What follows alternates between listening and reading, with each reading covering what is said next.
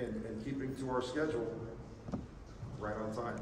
Uh, finally, again, I can't thank you enough for joining us today and being here. I'm excited about the presentation that we have. Mr. Michael Angelo Caruso uh, is here to, to motivate us today. You see the bio in the program. Michael is a TED Talk speaker. He's a motivational speaker. Uh, he's going to join us today and, and, speak with us about the art of communication, something we need to do with all of our clients.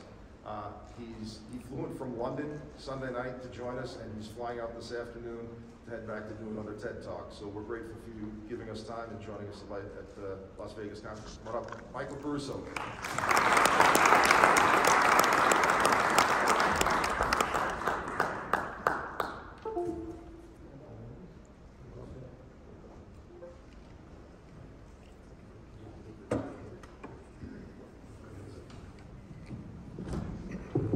Morning, everybody. Morning. Such a pleasure to be with you, and uh, I learned so much about LifeMark in the last 48 hours. I, I, actually was learning prior to that. I interviewed some of you before I came to town. Uh, we did a Zoom call. How many were on the Zoom call? I need to know if I can repeat my jokes. Apparently, those are still in play. Very good. Um, and yeah, we're going to talk about communication. I know you're going to get a lot of product dumps on things like. Um, um, products and strategies and technical stuff that y'all do, that y'all need to do a good job in your industry. But it seems to me that, um, and I think some other people believe, that it's a good idea for us to pause here right at the outset, right with the lead-off hitter speaker, and talk about something that's super important, which is the art of communication. Uh, I was joking with the managers yesterday that you know a lot of us feel that we don't really need to talk about communication. It's actually redundant to talk about communication. But the psychology of communication and the psychology of persuasion are central to what you do.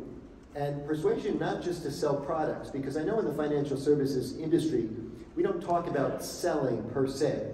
You're not even supposed to push anything. You're not supposed to push products. And yet there's a little bit of a there's a little bit of thing that happens when you're persuading someone just to get the clarity on something, just to understand something. You're persuading them to open up their minds and maybe consider an option, right? The art of persuasion. Very, very powerful. We live in a fast-paced society, and I think a lot of times we just uh, we just feel uh, I've been I've been talking to people for years. I don't really need to think about it anymore. I don't need to study it. And you know that if you're looking at things like nutrition or life balance or uh, anything important to you, that, that good study and good review is helpful. So I not only have some good content for you today, I have some unique twists to the content. Now, we're going to handle the bullet points that are in the program for sure. But I wanted to uh, begin today by telling you a speaker secret. Do we have any other speakers? I see Paul in the back. Hi, Paul. Do we have any other speakers in the room yet, or are they coming a little bit later maybe? Just Paul. If you're speaking today, hands up. Just Paul, okay. Oh, thank you. We met last night, so yeah? Real estate?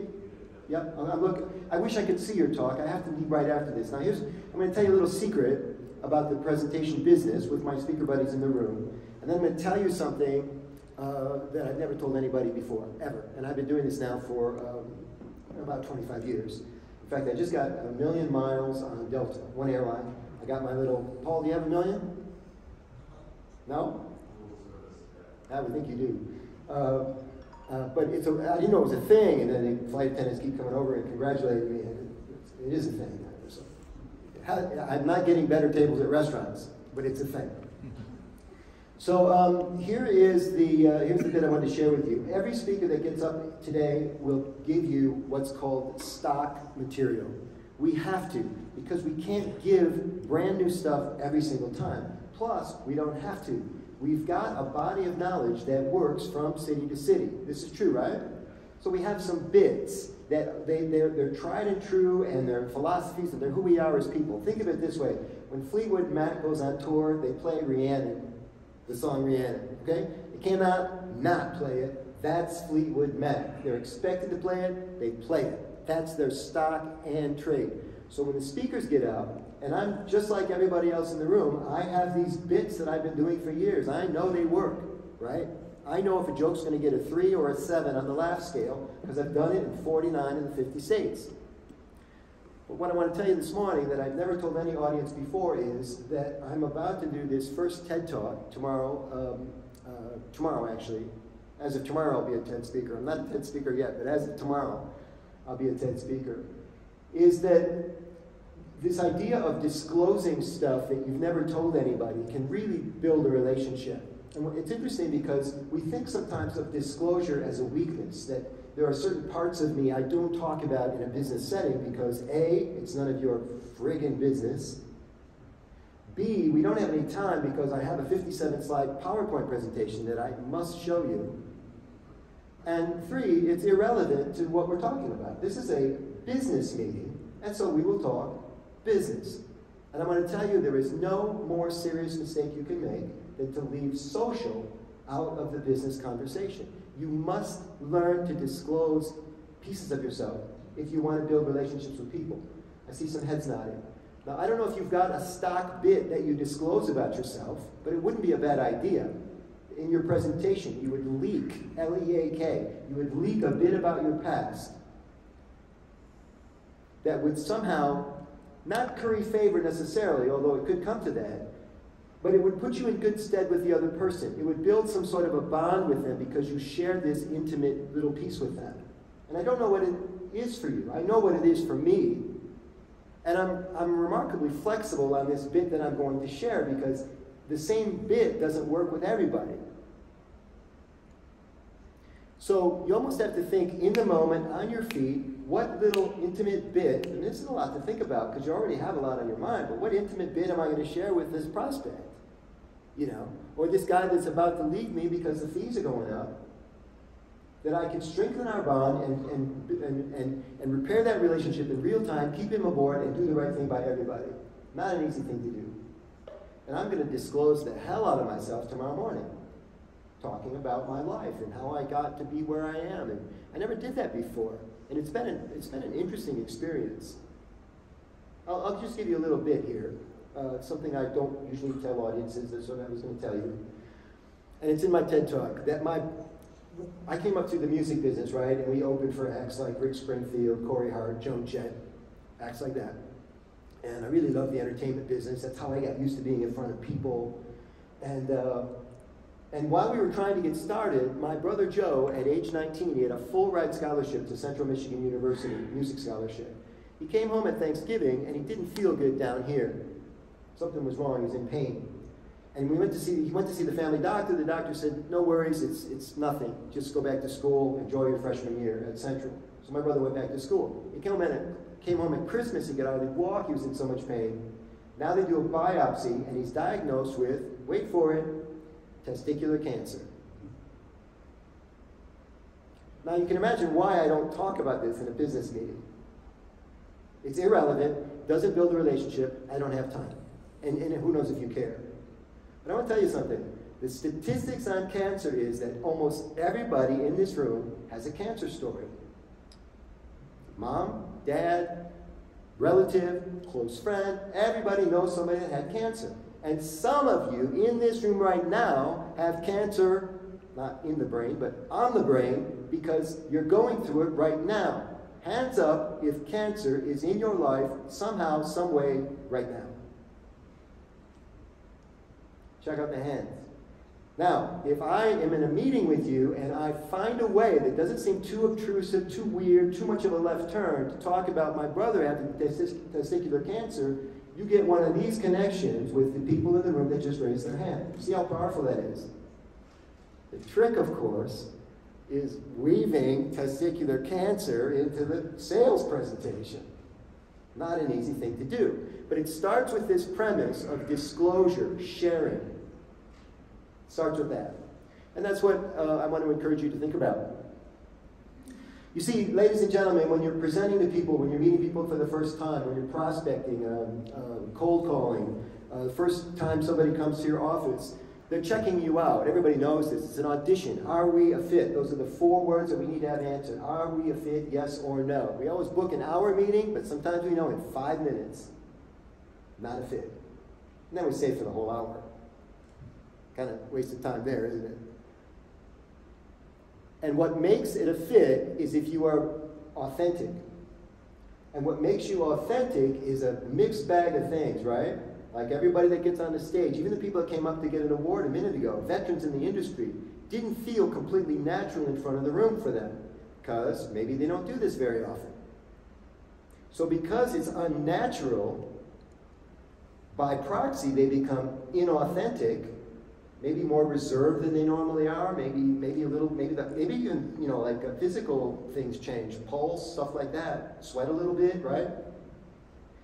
If you're not authentic, you're not natural. If you're not natural, you're not believable, and then all bets are off. It's all about authenticity. How do you get there? And you get there by being real. You get there by being a person. You get there by sharing and disclosing personal, social things about yourself. So, let's talk about how to do this. This is now uh, also based in uh, psychology. Uh, you know that you're, you're, because you're sharing something personal with your, with them. They're about to share something personal with you, which they are. They're about to disclose their assets and their fears and what they worry about when they go to bed at night because of retirement or the most anticipated recession in the history of modern man. You know?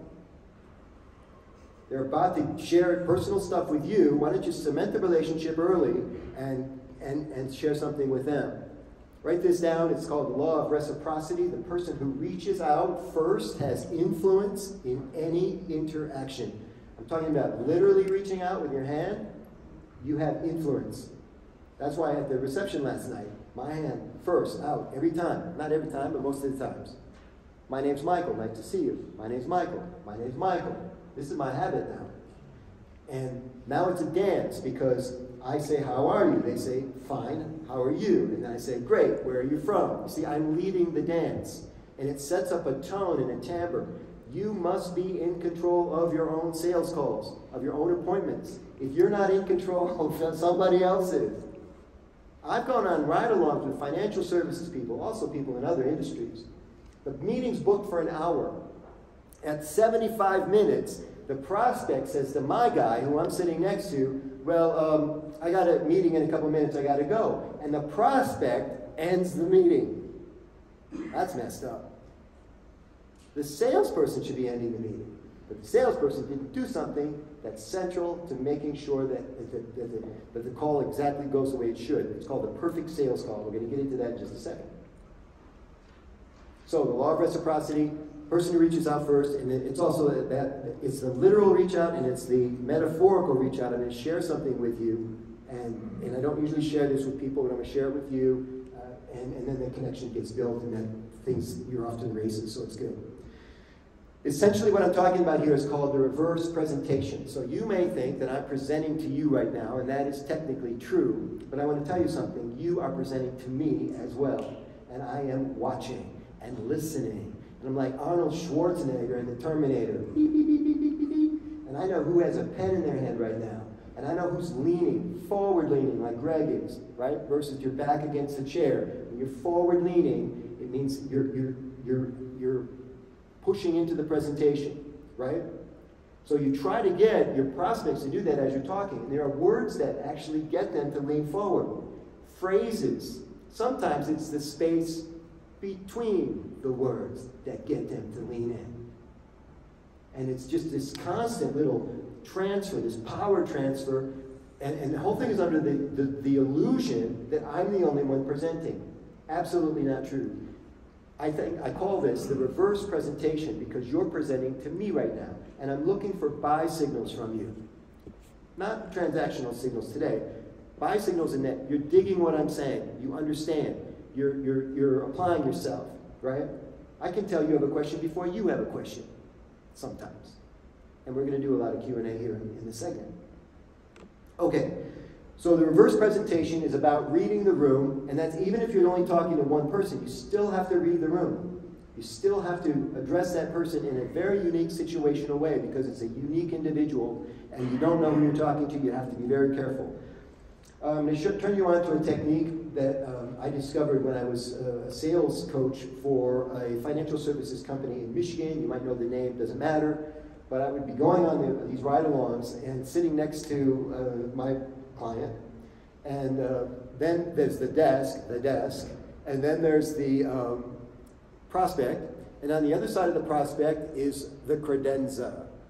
And so I want to teach you how to play credenza roulette, everybody. This is central now to, the, to this exchange. Just like us, when we come in with our preordained bits, The other person has preordained bits that they share. And you got to figure out when you're talking to people if you're seeing them at their workplaces, what I'm primarily talking about, you're visiting them at their workplace or their home. There's stuff in the home, there's stuff in the credenza that is an indicator of who you're talking to. But here's the problem there's a lot of stuff on the credenza, maybe 15, maybe 30 things, 30 items. One of them is the, is the Holy Grail, one of them is the life story. Quick story. We're playing, um, I, I, was participating sometimes in these meetings uh, just as a, uh, like a, I'm his assistant. I'm just, I, am just introduced to somebody that's traveling with him, right? And uh, I would get a, a, remarkable amount of attention for somebody who was uncredentialed and, you know, not, not, I'm just along for the ride. And then I would somehow get a lot of attention from this person. And once in a while, they let me ask a question or two, and I would say, uh, to, in this particular situation, I said, uh, uh, that photo on the credenza, that's interesting to me. So I'm playing credenza roulette. Which item is the life story? I, I go after the photo, right? And it's the photo of a famous person. I can't actually remember who it was, Ben Vereen or some famous, famous actor, you know, and a child, 12 year old child, 12, 14, something like that. And it looked like a special photograph. I, I, I, just had a sense about it. I didn't know anything, but out of all the things on the credenza, I asked about this photograph. And, it, and as soon as I asked, I knew I had hit the jackpot because this guy says, oh, like this, like he's going to get emotional already. And I, I, couldn't wait to hear what he has to say about this, right? So I said, what's the story behind the photo? And he says, well, that's Ben Vereen. And, and I said, and who's the young man? He said, that's my son. And, and then he said, my son has MS. And we met Ben Vereen by chance at this thing. I forget the complete story, but there was this whole narrative. It's super important to him, right?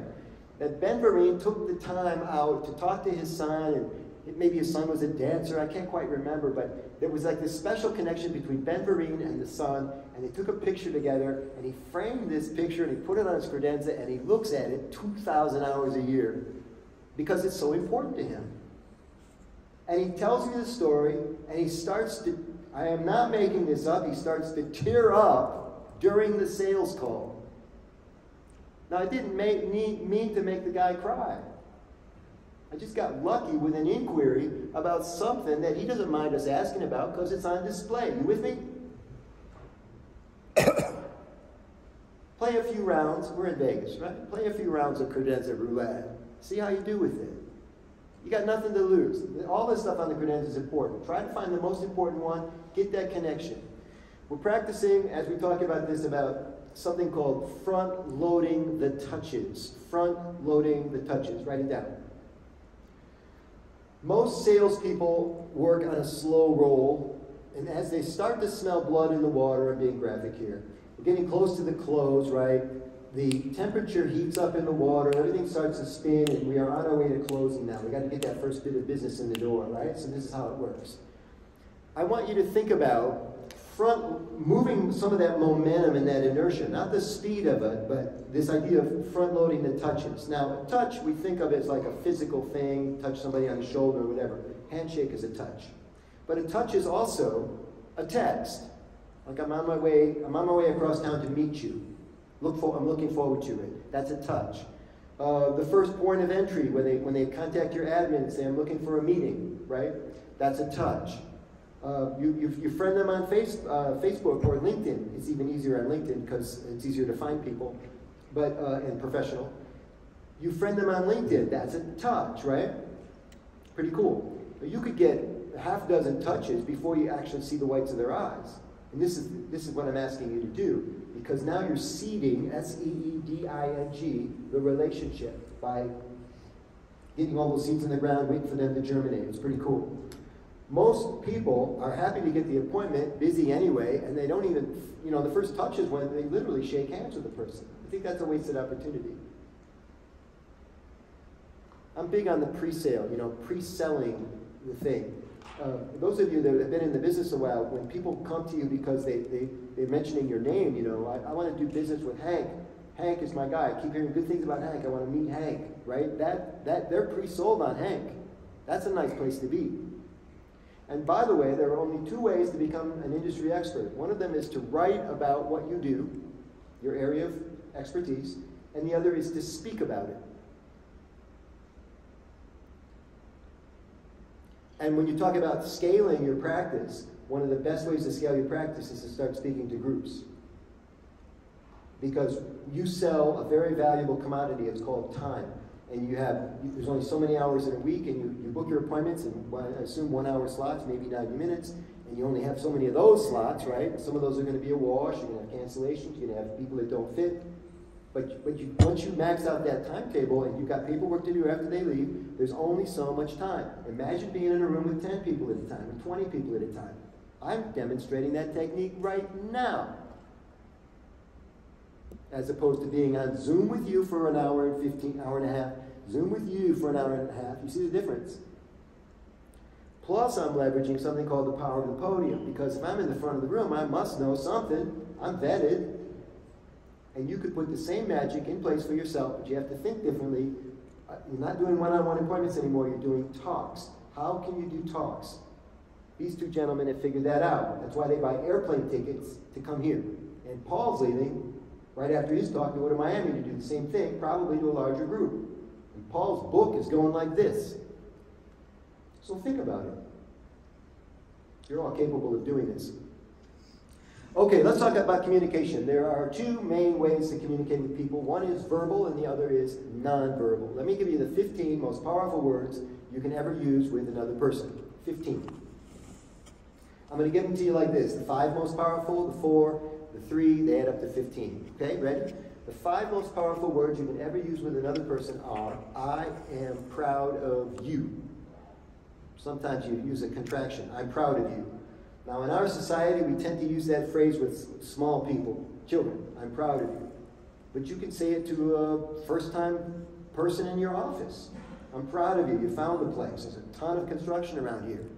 Or I'm proud of you. You've been putting this meeting off apparently, and now here we are. We're going to talk about it. We're going to make a plan for your retirement. This is going to be a seminal moment for you. I'm proud of you.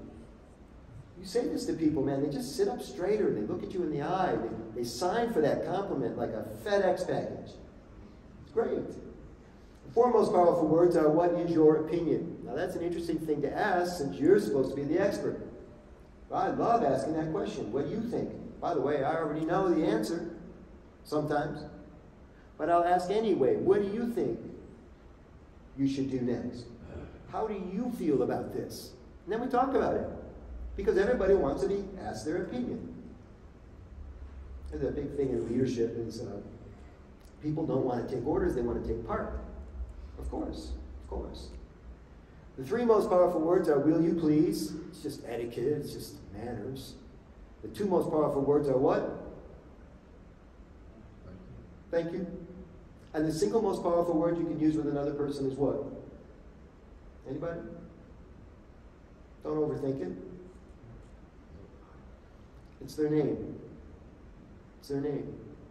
And of course, in the financial services industry, unlike, say, customer service in other areas, you know who you're talking to. You have access to their favorite word and still don't use it.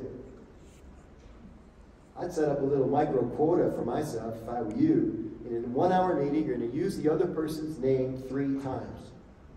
Nice to meet you, Patty middle of the thing, Patty, I've, I've, I've, given you a little bit of information, what kind of questions you have. At the end of the meeting, Patty, what a pleasure to meet you. Get in the habit of this now. And you're looking at it right now. I always marvel, you know, in retail stores, when you give them your credit card, and they still won't call you by your name. They're looking right at it. They could say, thank you, Michael. Right? Okay. Um, so these are some verbal tips. Um, I do think that there are words that close better than others, not that it's all about closing. I'm a big fan of opening as well. But you know, if you're um, if you're sending out a subject line in an email, right? You want you want the email to be open. Am I correct? Why don't you use some words that would get the subject line open? Why, do, why do you freelance it all the time and, and do the first thing that comes to your head? How many of you craft the subject line, especially the important ones, of course? And uh, so I always laugh. Know, I get an email and the subject line says uh, something like Friday. And I'm like, Interesting. This Friday, next Friday, Good Friday, what? because I'm processing in my head. I'm looking at that big long string of emails about which one I'm going to open first. I don't open Friday first. If you want people to open your email, you got to make the, make it psychologically attractive to them. It takes a few more seconds. Okay. Let's talk about nonverbals. I'd like to have the five, I think five gentlemen, yeah, that, that just won the award. Would you come up and join me? And I want to have two of the newest people. Uh, maybe you can help me with that, Jim or Alex. Who are the two newest hires? How about Levi and Camille? Levi and Camille. Give them a round of applause as they come up. Fantastic. Thank you for coming. We should have seven people here. Let's see if we get seven. I'm going to show you uh, uh, tips for reading the room and also tips for uh, sending sending the right signal to the people you want to talk to. Here we are, four, five, six. I only need seven. Thank you, sir. Thank you for your service. yeah, that's good. All right, so we're going to show you some. Oh, thank you very much. We're going to show you some body language, uh, and this is just to illustrate. There's like tons of body language. Um, uh, Gene in the back, don't move, Gene. Everybody, well, raise your hand so everybody knows who you are, and then go back to what you were doing. Gene's doing a version of called steepling, which is this. It's a form of confidence. It's here, right? It's different. Uh, in The Godfather 3, Al Pacino, Al Pacino is not praying. His hands are off a little bit because of what's going on in the plot of the movie, right? Um, uh, this is the, sir, hand up. Yes, hand up. And now back where you were. This is called the thinker pose. It's a version of Rodin's thinker, the statue, right? You send this to people when you're interested in what they're saying. This gentleman like that because he just moved his hand to the lower part of his face. Thank you very much. Gentleman next to him doing it. We got a couple hits in the room. Forward listening thing. Now we have. Oh, thank you. Don't mock me. uh, congratulations to all of the uh, all the top producers, uh, and welcome and welcome to the new people. So I want to put you in some positions. I'm going to talk about the body language positions quickly, not only so that you can read people better, but you can send the same signal by telegraphing body language in the same way. Hands across is good, back in your pockets is fine, in front is fine, hands behind you. Arms crossed, please. Arms totally at your sides, thank you.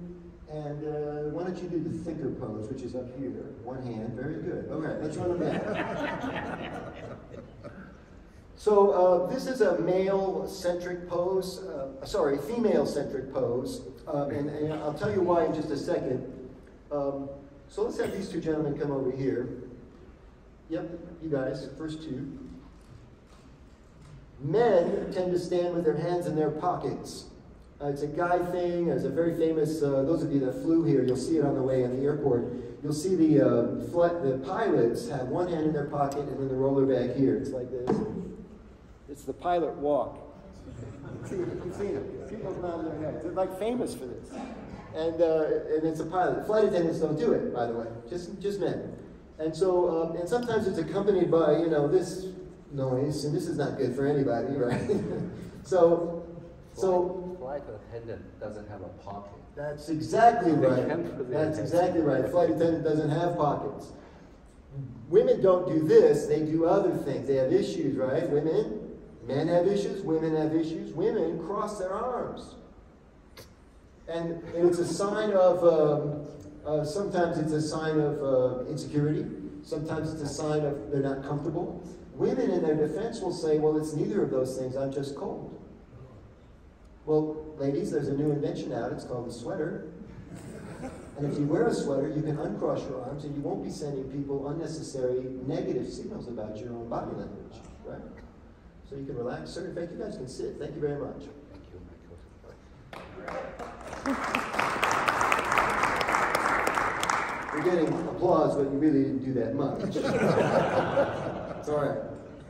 This is a biblical reference. Uh, it's, a, it's, a, it's called the fig leaf. it's a passive, all of these positions have, have connotations uh, passive, aggressive, or um, assertive. What, what connotation is this pose? It's passive. You see it a lot in photographs. You, people do this in church. People do this when they come up to get an award. Uh, you know, it's a little bit, uh, it's a little bit inauthentic because it's not a natural pose. It's not something people just naturally do. You know, but in front, in certain situations, it's just like you just naturally gravitate toward that. Thank you very much. Well done, Jeff. Hands behind the back, uh, military uh, reference. It's uh, called parade rest, also a passive position. It's not secretive so much as just um, at the ready, you know, this kind of a thing, uh, but it's passive. And the hands across is almost defiant, right? Uh, and we just put your hands on your hips like this with me. This is called Superman. And this is aggressive, right? You see, if you pass a construction site, there'll always be 10 people working, uh, sorry, 10 people on site, only two are working, and the other eight people are standing like this. you know, it's just, a, it's just a thing. Thank you very much, sir. Um, oh, we already covered this. Sorry. Yeah, no, you're not. Um, but I think that, especially in these sensitive times, that women and men can be more careful about their communication in more ways than one. So this is this is kind of what we're getting at right now. Thank you very much. Thanks. Um, I'm going to save you for last. This is the thinker pose. Now we know we can happen in your seat, and it can happen uh, standing up, and it sends a signal like um, you can sit, sir. Thank you. It's uh, it sends a signal like you're uh, talking to somebody, and you say, uh, or somebody's talking to you, and they say something interesting, and you say, um, uh, just kind of like slowly, like, oh, that's that's really interesting. I never really thought of it that way. You see? So let's all do it together, please. Hang with me. Uh, hands at your side. And when I say, when I count to three, move one hand to, slowly to the lower part of your face. It, it, it seems like the corniest thing ever. It would never work. It works like a charm. One, two, three. Hmm, that's interesting. You see? And you watch, man. People go, you guys start getting feedback like, you're the best listener. You know, it- it's just a little trend, right? It's beautiful. Okay, so we left um, uh, Levi with his arms at his sides, and the reason this is important is because it's the natural position. I mean, your hands belong at the bottom of your arms. And yet sometimes it, it feels like the least natural. You've been standing this way for a little while now. How you feeling? Great. Yeah, it is a natural position. There's no subterfuge here. There's nothing going on. It's just how we're meant to stand. And it wouldn't kill you to take your hands out of your pockets, gentlemen, once in a while, is what I'm saying. Round of applause for Levi.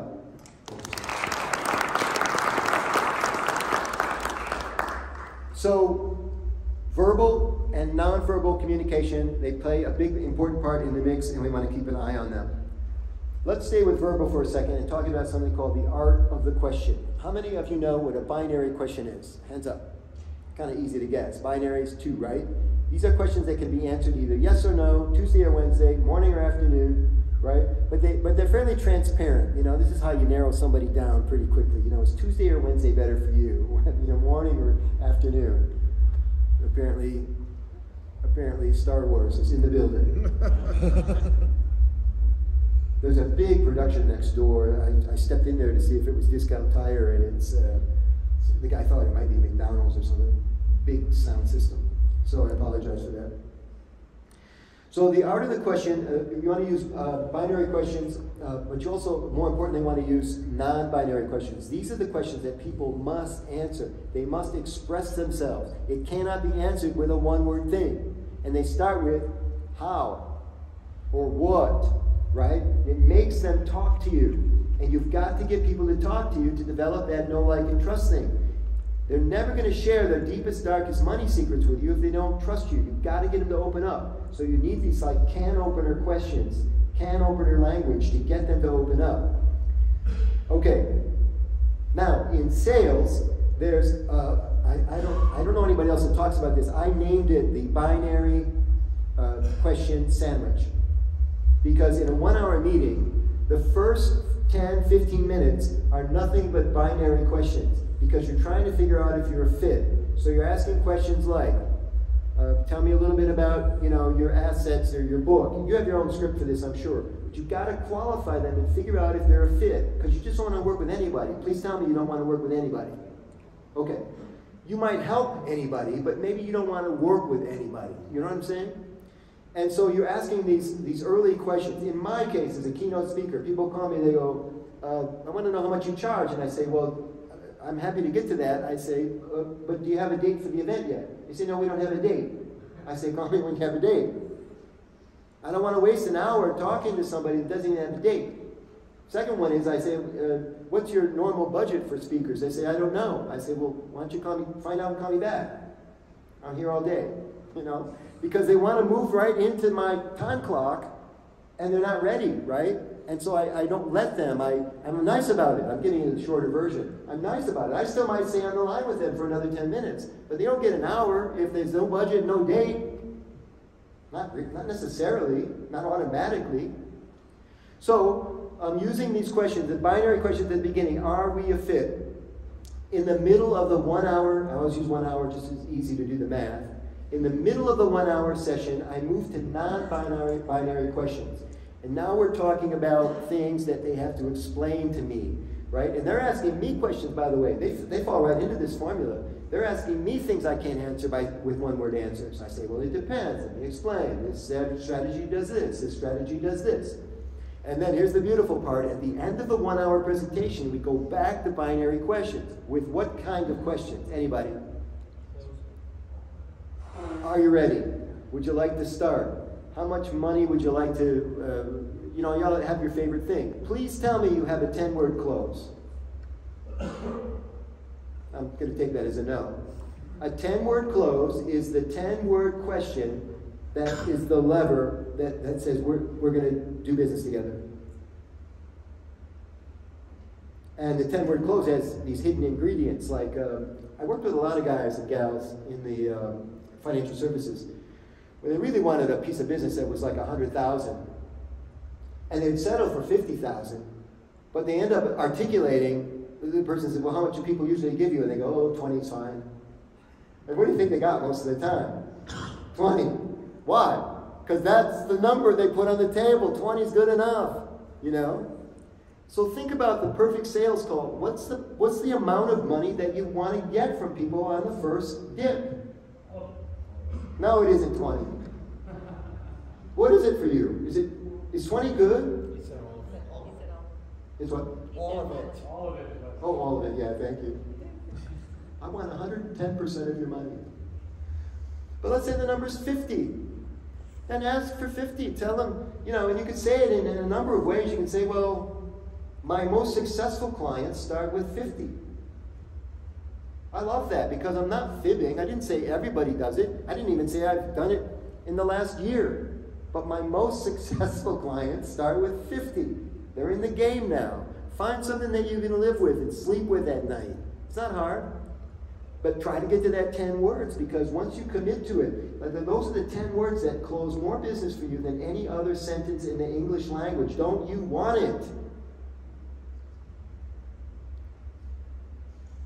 In my case, I send you to uh, YouTube. Is this, uh, how can I turn this on? You can do it for me. We'll do the YouTube channel. Uh, because I can use video to sell, you know, I've, everybody has like techniques for this, right? To get, in, to get inside people's heads and help them establish clarity. That, and what I want to establish is that I am the perfect speaker for your keynote event. I am the guy. There's others out there, but I'm the right guy. And nothing conveys that more than a video. I'm not going to show you the video. Uh, uh, because you can find it on your own. But nothing does this like video in my business. So I send you this, I send you the video and you go, oh my God, this is what we want. I can't do that on the phone. There's a live audience in the video. They're cackling like hens because I'm so funny, apparently. And, uh, and the video, that video has closed more business for me. That's my 10 word close. I'm to have another verbal one too. Maybe for you guys, it's a strategy that closes, but I don't think so. I read a book recently called um, You Are About to Make a Big Mistake. That's the name of the book. It's by uh, a, a, lady named, I think it's a lady, Sibony, S I B O N Y. You are about to make a big mistake. I did the audiobook. Get Audible, read, read a book a month, do yourself a favor, and read within your industry, right? So here I am just reading a book about psychology, and, and it, it's primarily about what, um, it's primarily about um, uh, the psychology of, of uh, how people think. And uh, the cognitive biases, there's about 150 of them. She's going to run them down in the book, right? And uh, uh, thank you, that's good. Um, and uh, and uh, in the book, there's a section, there's a, I don't know, she just interviews a bunch of financial services people. And I'm like, that's cool, I'm about to speak to LifeMark. This is handy. I didn't know it was going to happen. And in the book, she says that uh, one of the big problems now in financial services, you guys tell me if you disagree, is that, you know, we're well out of the information age. You know, we already left the information age, right? We're in the experiential age now. We, we entered the information age because of Web 1.0, everybody has access to the same information now, almost everybody, right? So here's my point: is the strategies that you have that, that you give them as like your that's like your that's like your proving point right there. The strategy, everybody has them. I mean, you might have access to some unique author or something, but everybody has strategies, ladies and gentlemen. It's not about the strategy. You have to share the strategy, you have to talk about it, but that's not what closes the deal. What closes the deal is your relationship and the no like and trust. And the bond that you created in 60 minutes or four 60 minute sessions. Does this make sense to you? All right, eh, keep your questions. I'm going to get, get to them. So Simone says it's not, it's not about you know, the information that you're pushing at them, it's about the relationship. That's, I want to mention that to you. So uh, the, if you subscribe to this YouTube channel and make sure you click that silver bell, uh, then when the new videos come out, you just get a quick notification. These are two minute um, booster shots for you, right? If you're into that sort of thing. Uh, that will help you with this kind of thing that we're talking about right now, right? I will visit you again and share another little tidbit with you that sharpen your game. And I do a video about the 10 word presentations, and I'll do a video about body language, and you just keep getting it until you get it right, and it's part of you. Okay. I want you to ask questions in a 5 to 1 ratio. 5 to 1. And the reason for that is, again, you're leading the dance, and, and, and it's not that you're asking a lot of questions, it's that, that they're not asking any questions of you. I went to go uh, change doctors the other day, a while back. And, uh, and I started asking the doctor questions about like where he went to school and what his specialty is and if his career turned out the way he thought it would and the best part of his job and the worst part of his job. And he keeps looking at his watch because he's billing me in six minute increments, right? And then he says, well, what did you come in for? I said, he said, what do you, what's the matter? I said, there's nothing wrong with me. I'm healthy. He said, well, where does it hurt? I said, I don't have anything wrong. I wanted to talk to you to see if I wanted you to be my doctor. And he looked at me like I was speaking French, like nobody ever does this. He said, Well, you know, we're going to charge you for this appointment. I said, I hope so. I took your time. Most doctors give a free consult, but if that's why you want to roll, let's do it, you know.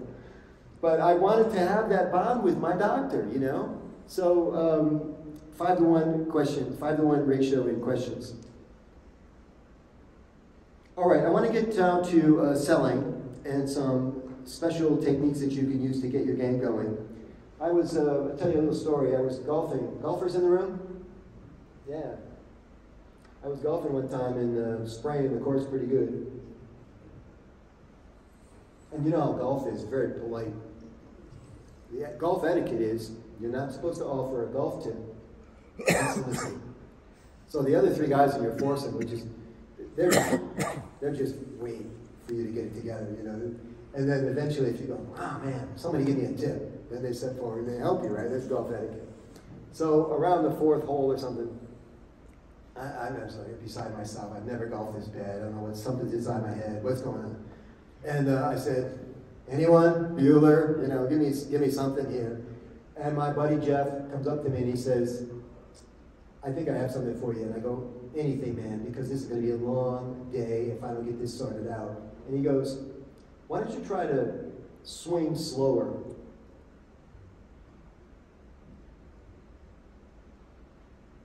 And I did. And it, and it, and it just cleaned it, cleaned it right up. It was almost like you waved the magic wand over me, you know? But now, if you think about it, you don't have to golf to understand this. If you think about this, it wasn't that I was swinging slower that made the ball go straight. It's that I was not trying to hit it so hard. It was that I was I was, I was focused on something else instead of whatever I was doing. And it just cleaned up my stroke right away. It was a beautiful thing. I started thinking more about this, and, and I started publishing and testing the theory in, my, in sales when I'm doing coaching. And uh, started encouraging salespeople to sell more slowly. sell more slowly and front load those touches and just do that little like press and become because when you work too fast, you know, people get suspicious. That's when you become salesy. Um, if you don't want to be treated like a salesperson, stop acting like a salesperson. Stop using sales speak. Stop moving people through the sales process where, they, where they're feeling like he's, he's moving me now, you know? Or she's moving me now. You know what I'm talking about. So, try to sell more slowly.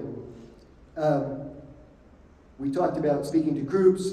Uh, I want to, uh, we'll get to Q&A here in just a second. Uh, I want to um, also share with you this idea of protecting the close. Now, we've been using the one-hour sales model in this talk today. Protecting the close uh, is important because um, you're not the only one talking to your, during your sales presentation.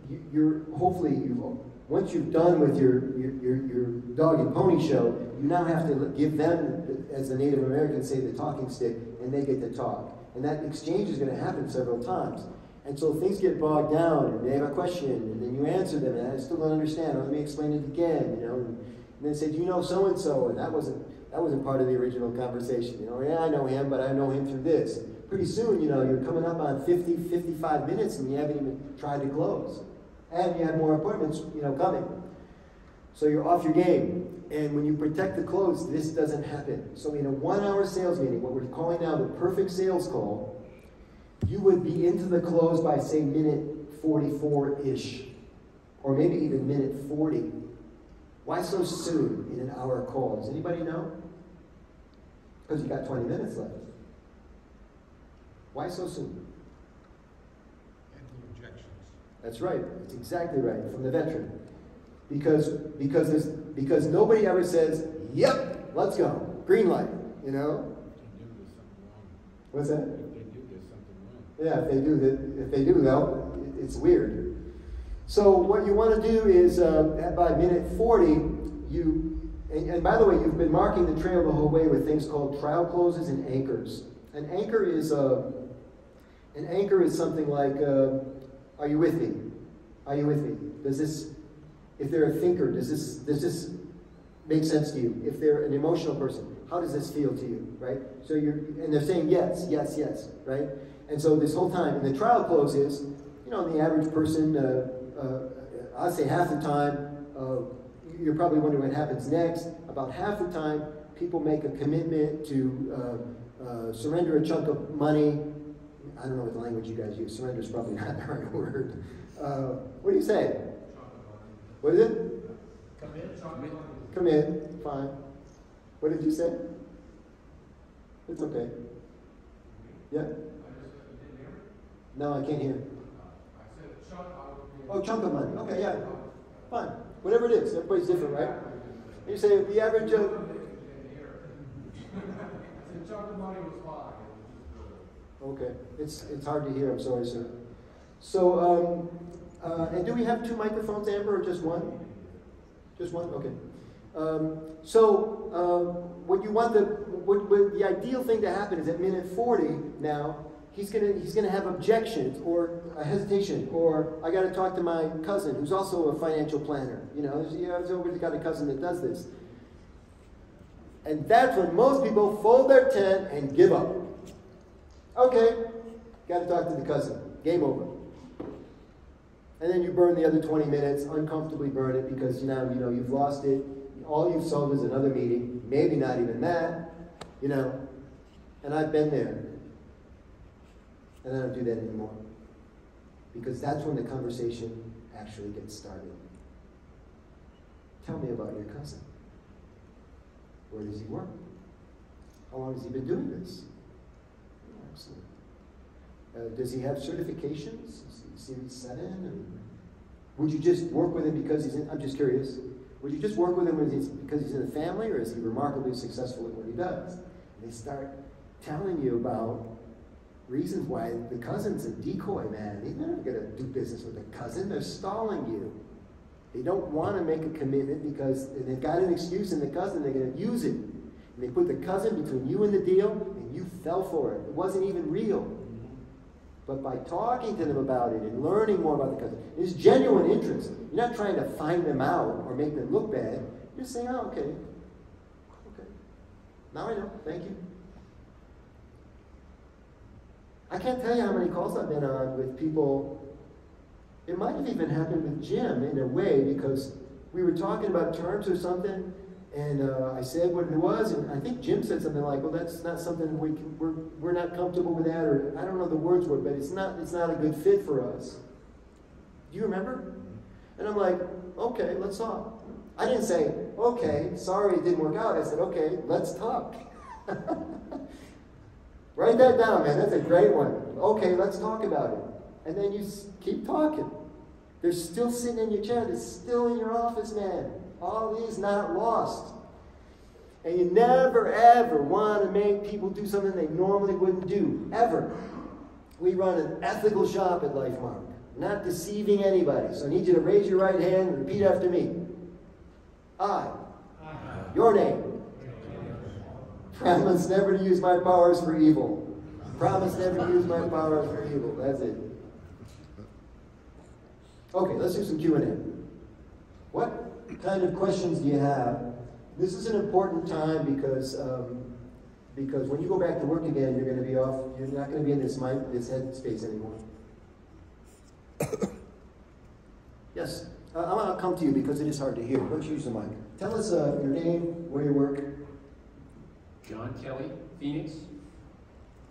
I'm paying very close attention, but I did not get your 10 word.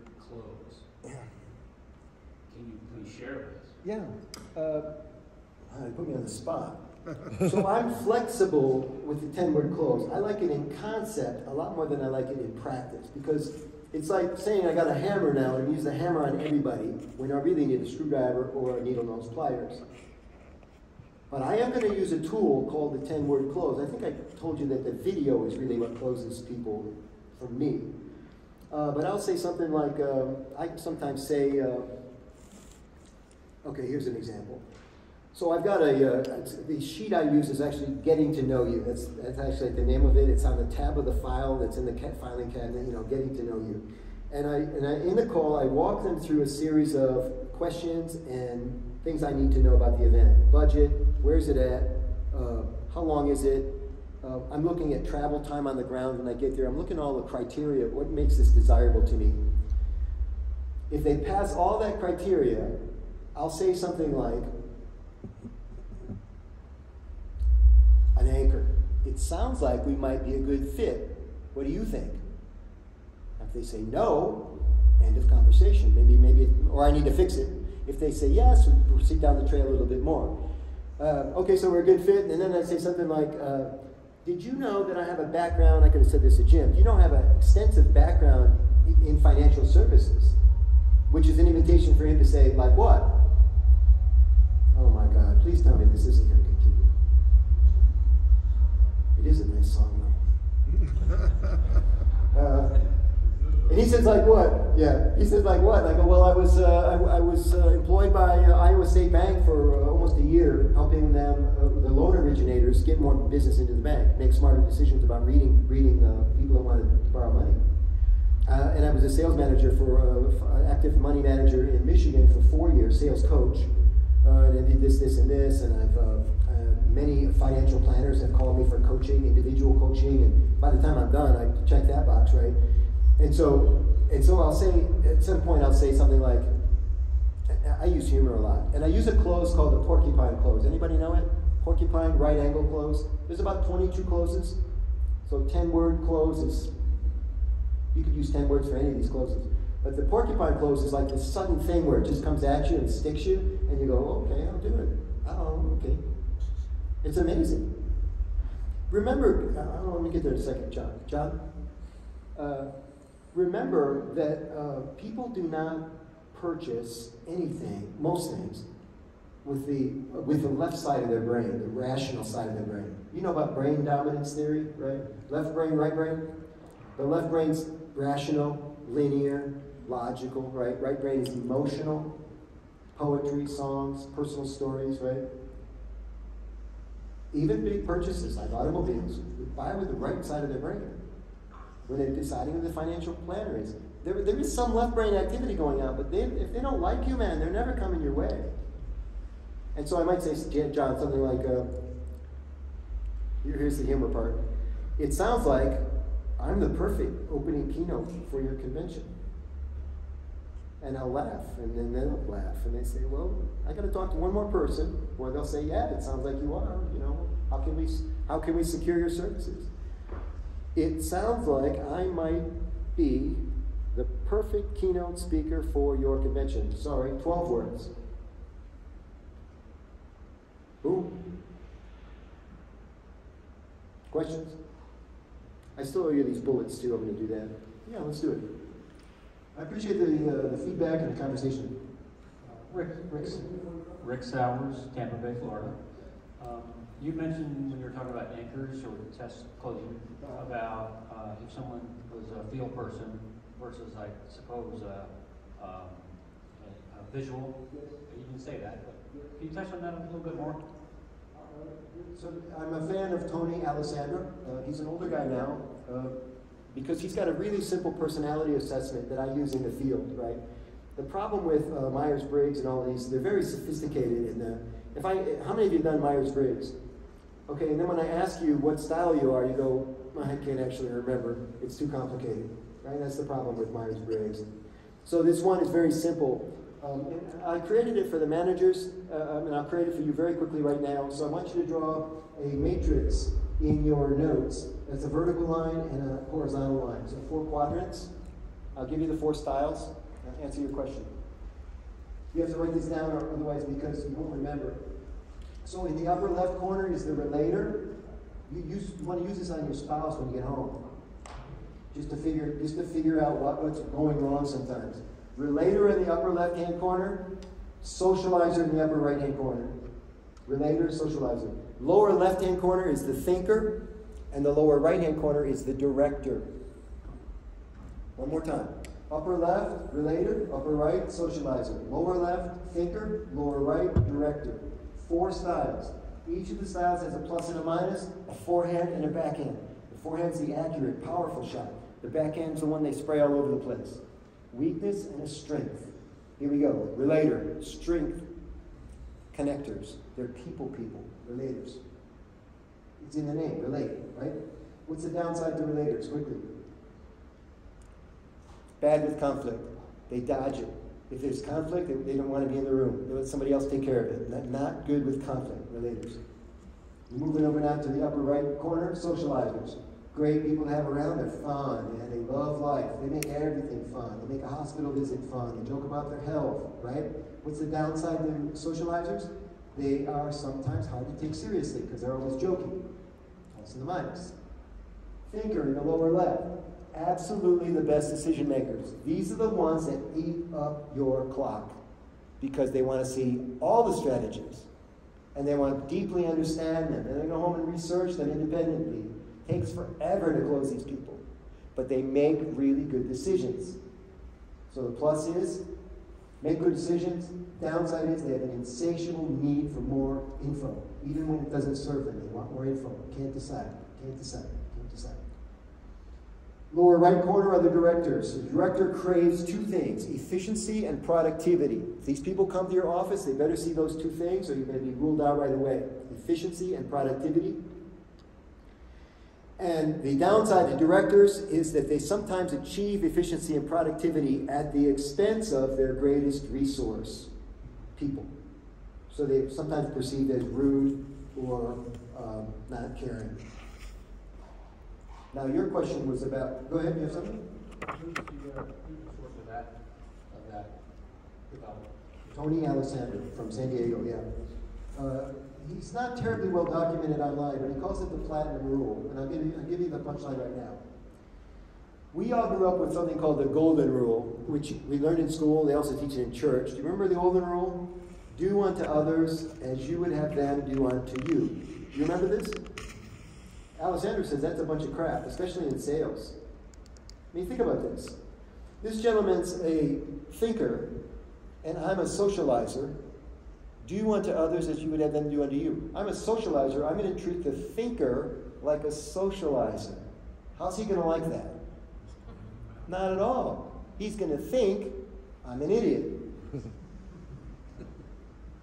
Alessandra says you want to use something called the platinum rule. Do unto others as they want to be done unto. Whoa, what's that do? Okay, he's a thinker. How should I treat him? Like a thinker. What's a thinker want in these meetings? Facts, data, information, right? You give those to the socializer, they're, they're like, la, la, la, you know, they- you're wasting your time. They don't care. You might have to do it to satisfy compliance, but that's not what's attractive to them.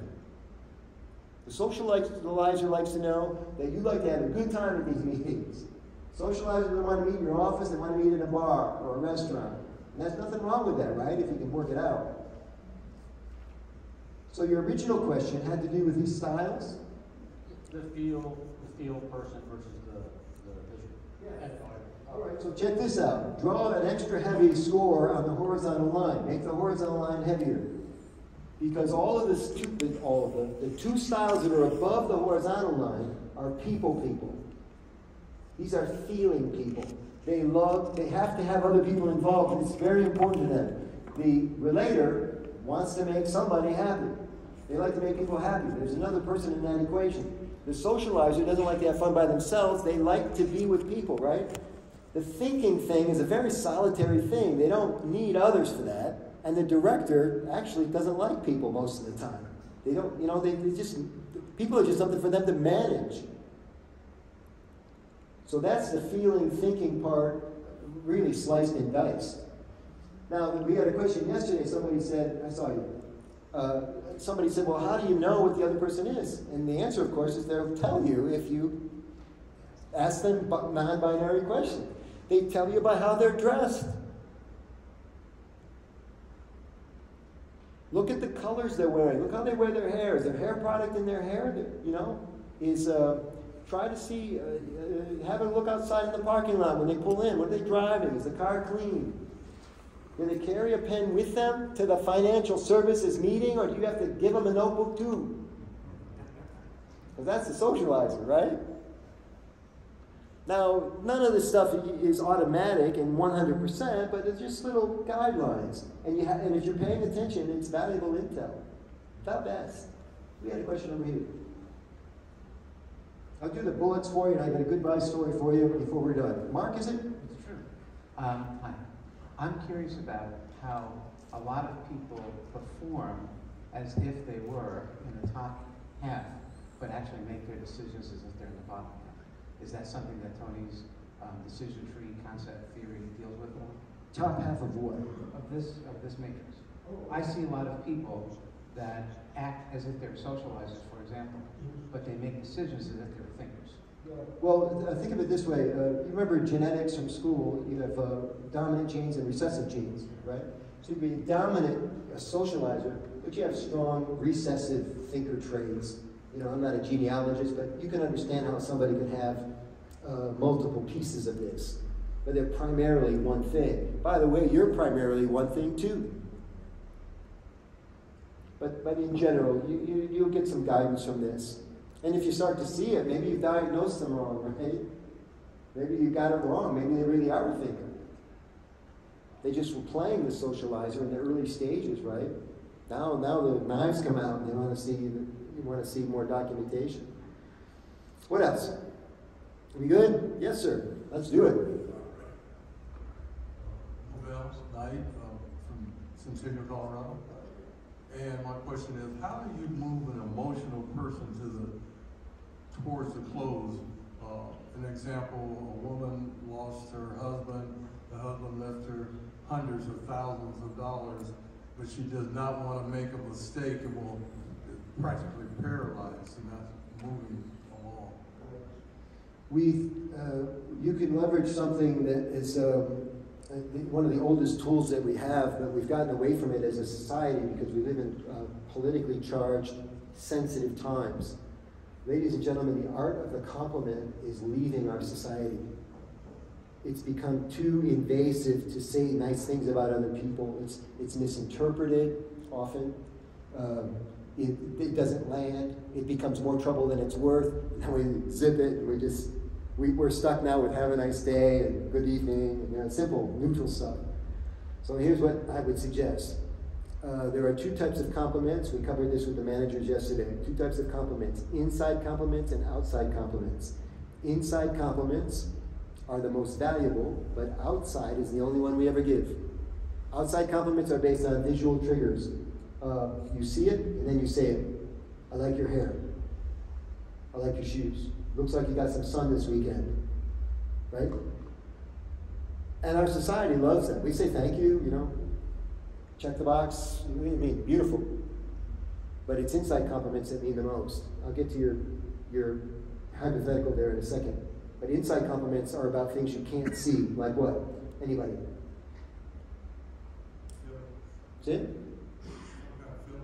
Yeah. Uh, feelings could be energy, could be uh, uh, you seem like an honest person. It could be integrity. It could be principles. It could be uh, uh, uh, I, I admire people that do what you do for a living, right? So you, you, you could do this if you wanted to, if you set your mind to it. And that's the compliment that could land with this woman. She's unsure. She doesn't want to do the wrong thing. So tell her she's a very intelligent woman. In your brief time with her, I'm very impressed with how you've got this put together. And I just know whatever decision you make will turn out great. You seem like a smart lady. And you just let it, let it sit there for a minute. You, you see? Now, nothing works every time, but I, I think that's where I would go in that situation. She doesn't want to do the wrong thing. You assure her she will not do the wrong thing. And what do you know? You, you were just talking. It's not a guarantee. You know, you know, you can't be sure either, but it's just human nature, man. let's, you know, relax. Everything's going to be fine. Most of the time, that's all people want to know. People that are ringing your phone off the hook right now about all this war and the recession and the supply chain, all they want to know is everything's going to be fine. I know the devil's in the details. Let's do the bullets quick. I'm still open. The request line is still open for questions. Uh, we said we're going to read people better. I think we covered that. We covered the verbal cues, the seven body language positions. Active listening is also called forward listening. We said Greg was doing it earlier. This, you know, when you're standing up, you do it like this. Watch, little, little step forward like this. That's all. Half, half step like this, or the lean in. You know, right? So be conscious of these little signals because they improve your communication. Um, the three ways to know people are uh, one is the personality assessment that I just gave you, showed you. The second way is the brain dominance theory. Are they a left brain person or a right brain person? And sometimes I just have fun. I just ask them, I said, You ever hear about this left brain, right brain thing? Because you're having trouble getting a handle on the person in the meeting. And they go, Yeah, I've heard of it. Well, which one are you? are you left brain or right brain? Just tell me. Save us all a lot of trouble. And they go, oh, I'm definitely a left brain person. Go, thank you very much. Let's continue, you know. So sometimes just asking them what they are is pretty cool. The third way is from a book called Dr. Kevin Lehman, um, or Lehman maybe, L-E-H-M-A-N, and it's called the Birth Order Book. There's a lot of compelling research that where you are in the birth order, Levi's nodding his head, where you are in the birth order determines your personality later in life. For example, if you're firstborn sibling in your family, you are the firstborn sibling, raise your hand. A lot of you. Okay. So, according to the research, the firstborn is an early adopter. He's the de facto parent. He's the standard bearer. Uh, all these things. See a lot of people nodding their heads. I'm the firstborn and I'm saddled with it, man. I can't call my brothers and ask them how they're doing without them reading into it. Are you checking up on me? No, I'm just your oldest brother asking how you're doing. but it's an old script, right? We can't let go of it. Um, the youngest child um, often likes attention.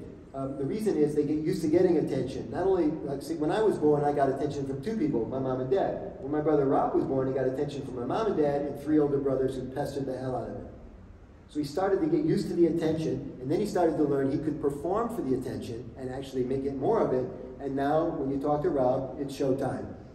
He's just always trying to make you laugh and entertain you. I love him, you know, but that's Rob. The middle children sometimes suffer, not suffer, struggle with their own identity because they're not the oldest, they're not the youngest, especially in big families. You know, who am I? And finding their own identity and coming, coming to play. It's a complicated thing. I just gave you the simple version of it, but it's another way to know people. And you are, you already said, you already said, you're going to be asking people personal questions now. Tell me about your family. How long you, how long you been uh, living here in this town? Uh, tell me about your family. What did your dad do when you grew up? Great question. That tells you so much about the person. What did your dad do? What did your mom do for work? Love that. Um, and then, how many siblings did you have? Where were you in the birth order? You can't open with that question. Hey, nice to meet you. Where were you in the birth order? you know, you got to warm up to it. Okay, very good. Uh, the two things that motivate people every time. Anybody, any psychology majors in the room? Aristotle said it first, then Freud. Uh, close, pain and pleasure. Pain and pleasure. So, uh, in bull markets, you're selling the pleasure. Everybody wants a piece of that pie, right? And in bear markets, they're in pain and they want to move money and they want to panic and they want to day trade and they want to change advisors, you know. You know the game. So use those two levers to get them to do the right thing. Not what you want them to do, but the right thing, the thing that's best for all concerned. Techniques for leveraging both as financial advisors. I don't know what that was about. Maybe we covered it. A deep dive into the lost art of the compliment, which we did. Communicate with authenticity, we opened with that. Uh, how to use the doctor frame. Um, so that's a little takeoff on when um, I, I, said that the doctor said to me, Where does it hurt? That's what you say to your clients, right? So they come in and they say, uh, You say to them, Where does it hurt? And you're joking, but what do you mean, where does it hurt? Well, why, why did you want to see me today? What's going on? Get right to it. You know, that's like jumping in the pool.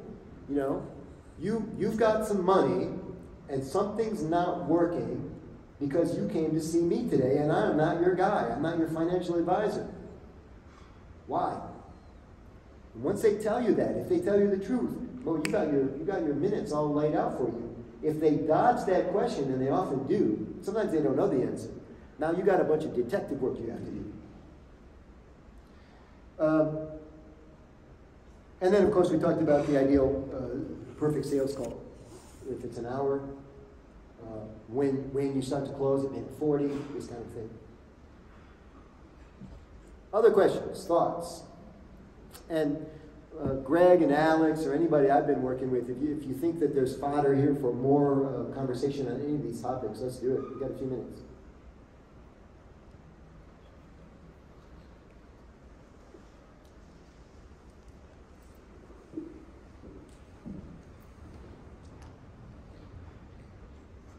I have a newsletter. It's here. The website, if you if somebody working in real time, is just my name, michaelangelocaruso.com forward slash Friday hyphen five. So every Friday, I promise you it'll be the best newsletter you ever get because no long articles, just little bits, right? Communication, persuasion. Uh, sometimes it's a book review or a book recommendation. Um, and of course, you can quit the list anytime. But uh, I don't do a newsletter per se, it's more of a fun tip sheet. And uh, people don't quit my list because I try really hard to give them really good stuff.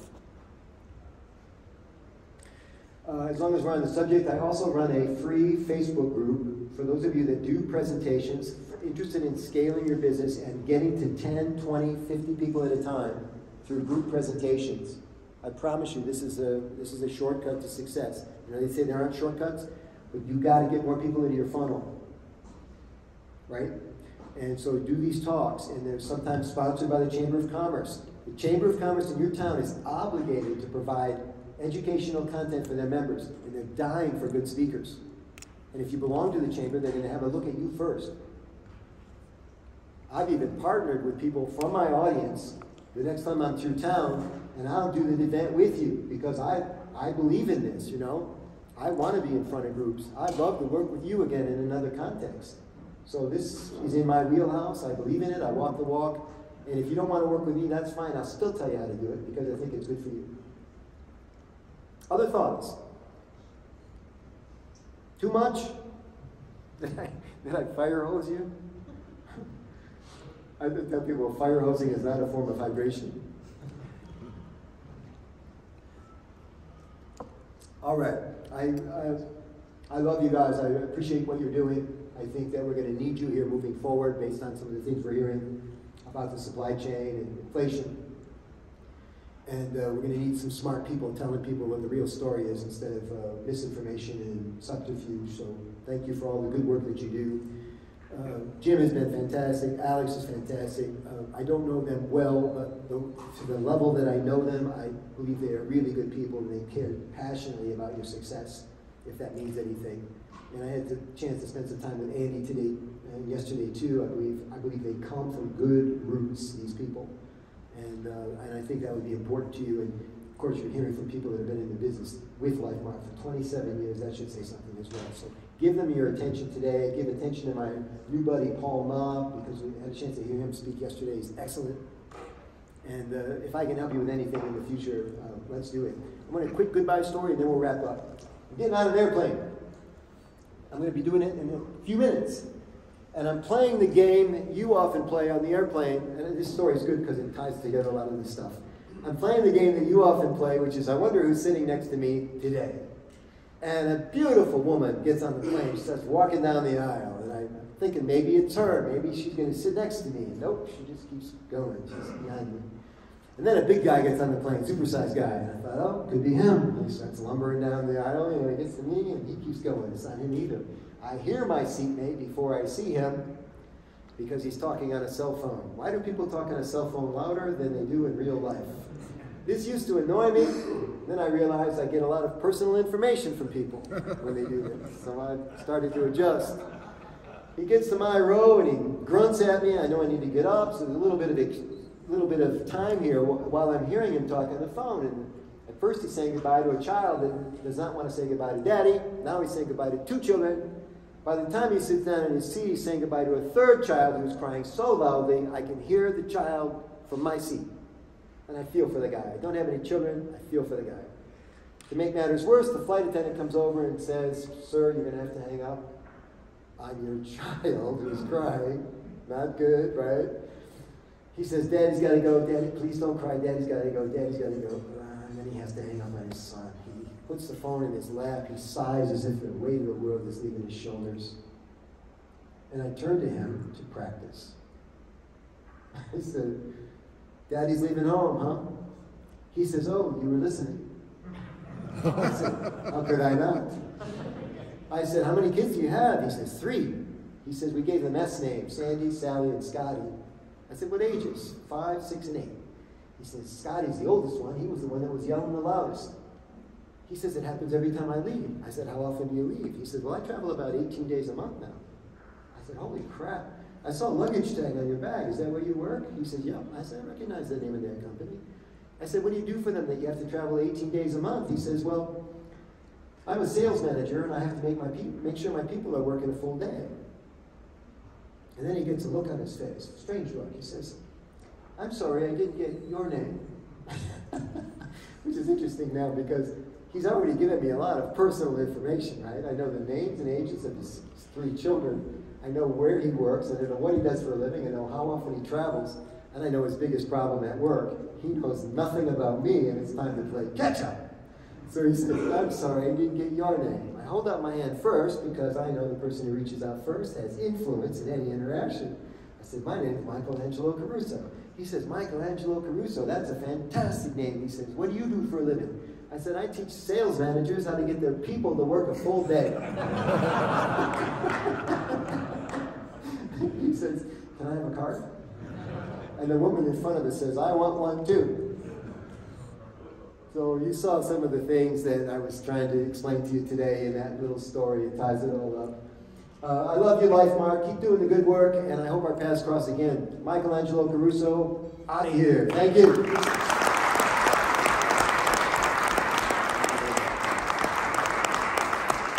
you so much, Mike. We appreciate you coming to Vegas and, and being part of the LifeMark conference. Uh, hopefully everybody takes some pearls back with them and, and you start to incorporate this. Michael is available. I'm sure he'd be willing to talk to any of you. He, he's sincere.